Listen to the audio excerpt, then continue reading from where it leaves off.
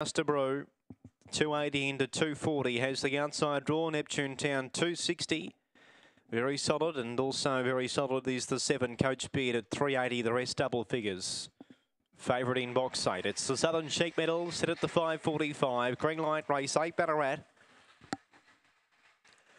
Racing and away fast off the inside. Kenzie Bale showing good speed. Going up on the outside. Neptune Town and Just a Ruse whipping around the outside and quickly gains on the leaders. Taking the front Neptune Town.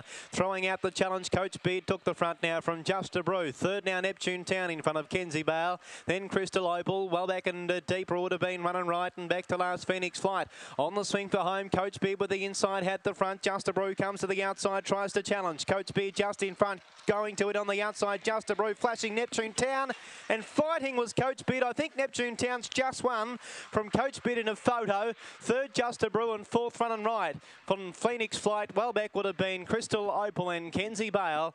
And the time 31 and 61. And the two, Neptune Town on the outside, has got up to win for Donna Knight at 270, 220. The two, Neptune Town, the winner. The favourite just a Roo looked like the winner turning for home, and my focus was on him. But to Neptune Town, to its credit, has fought on strongly. Coach Beard has kicked back the rail, but the two Neptune Town has won for Donna Donnight and gives her a double.